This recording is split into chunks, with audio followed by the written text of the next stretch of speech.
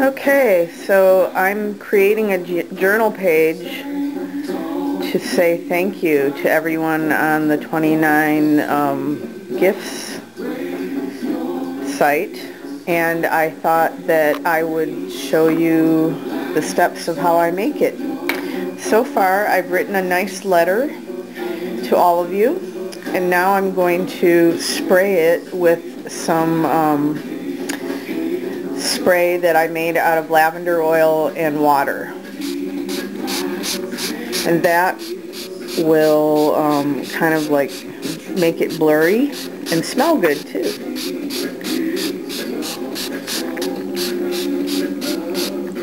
So I'm just going to let that dry and then I'll be back. Alright, so while the page is dry, I thought I'd go on and do something else. So I cut out this little bird and flower out of some cardstock. And then I also cut out a bunch of art from the newspaper. And I'm just going to take a glue stick, cover the bird with glue.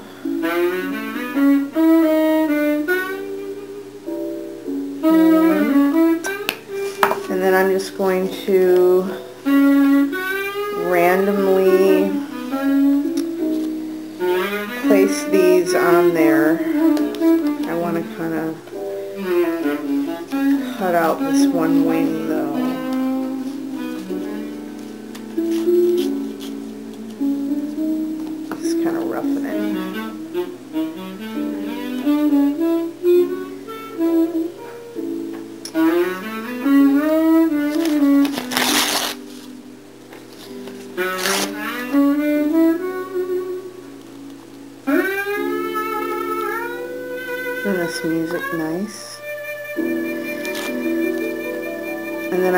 go back and trim it all off, of course.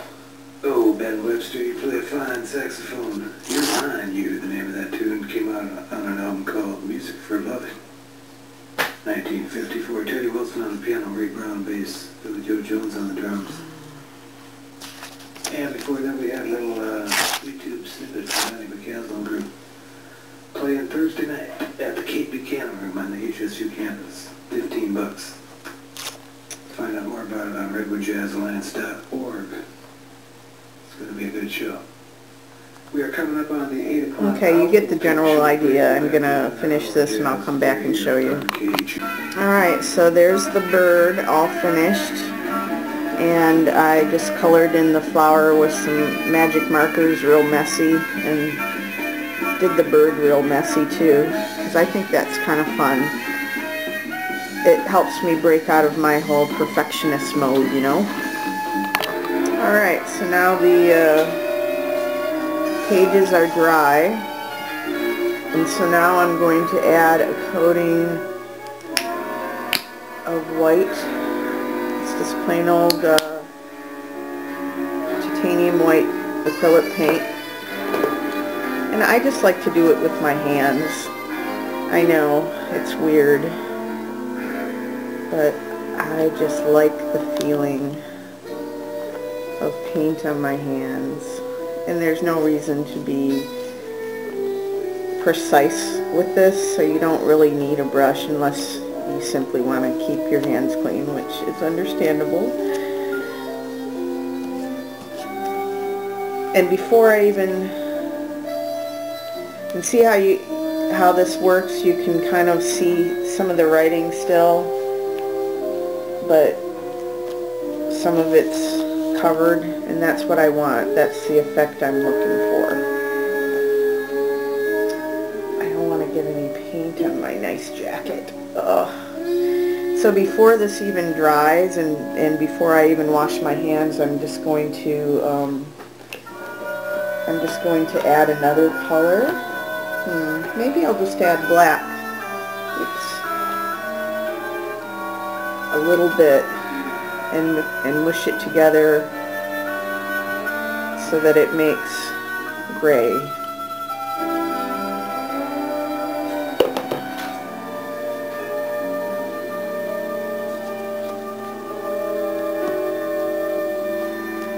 Just have fun with it. I mean, you can just do any, you know, any color that strikes your fancy. And this is the, these are the colors that are calling to me right now. Black and white.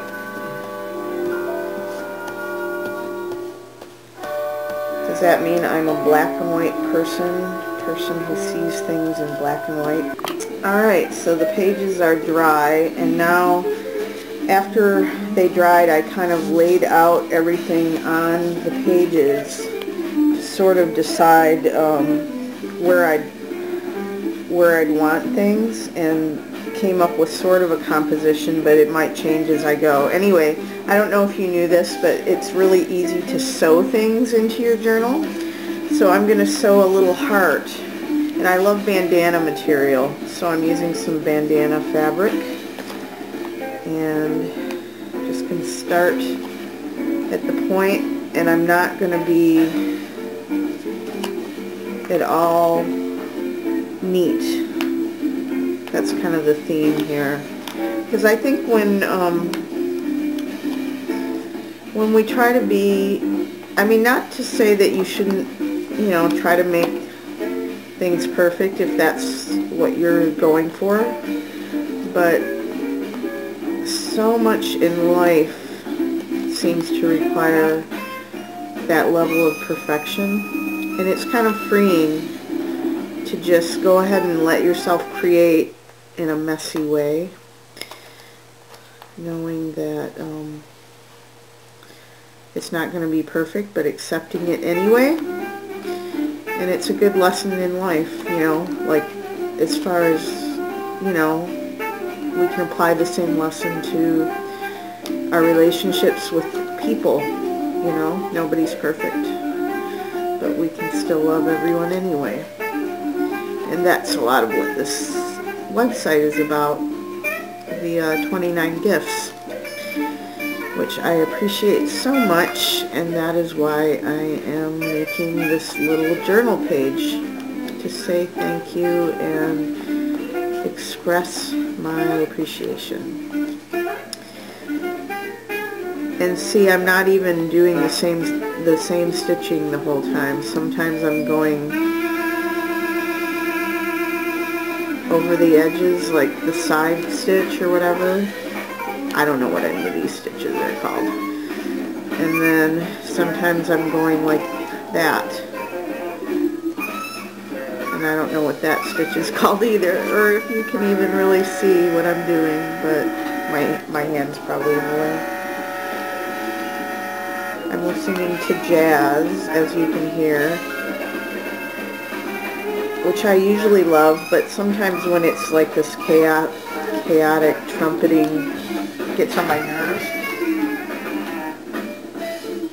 Alright, I to, had to turn that down. I don't know if you guys could even understand me with all that crazy trumpeting going on.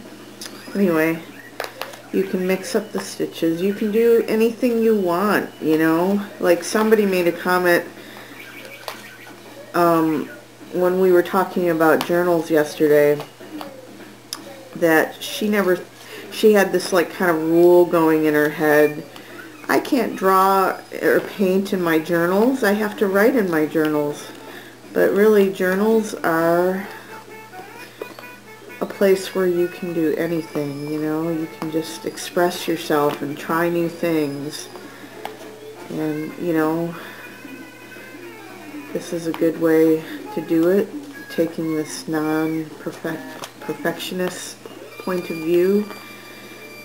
It frees you up creatively and and it doesn't just apply to your journal pages. It it can you know apply to other parts of your life too where you use creativity. Doing exercises like this if you know what I mean just getting comfortable with not being perfect I think is an important lesson for anyone to learn so there's that. So I sewed that in. And now I'm going to go ahead and do some other things. I'll be right back. Alright, so now I'm going to assemble I also made a little house. I just cut it out of uh, newspaper. It's not quite dry, but that's alright. And then, um, and then painted it so you can still see what's underneath. I just thought it was needed somehow.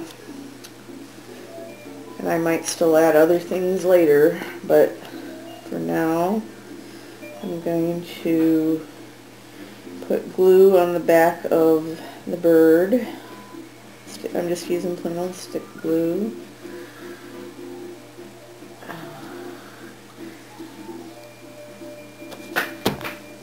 And then the flower.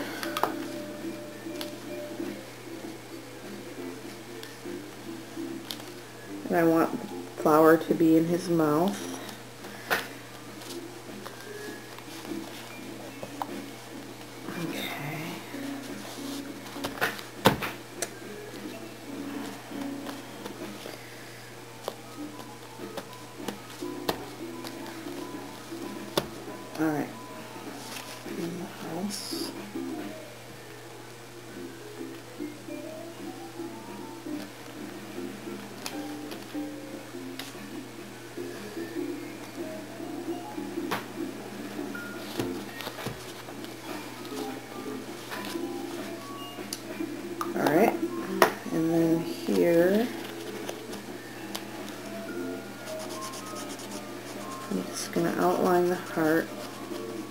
Messy again.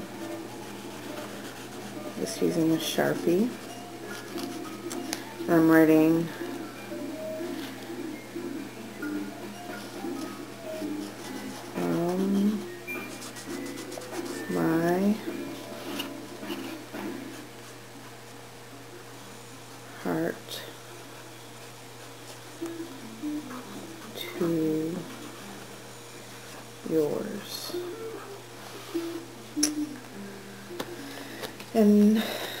pretty well finished now, except for I'm gonna, I have these rubber stamps that I made um, out of erasers. They're really easy to make with an X-Acto knife. And so I'm just going to um, add some rubber stamping, just sort of balance it out. These are just stars but they need to be darker. So I'm going to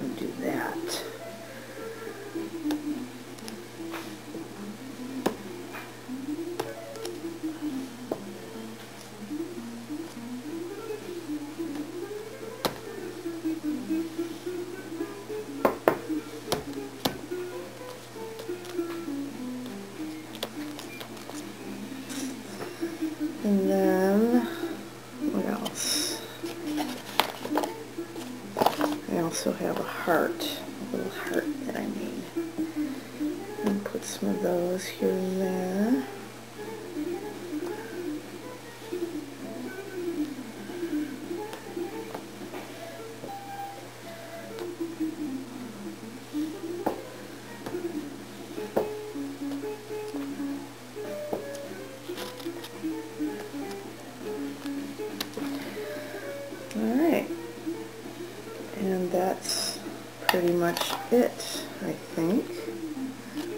Add a little angel.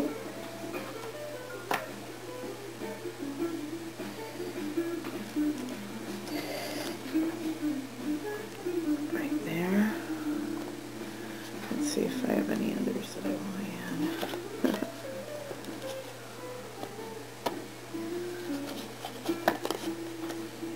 add. Maybe my I, I made one of my little dog bonsai. Maybe I'll add that one too.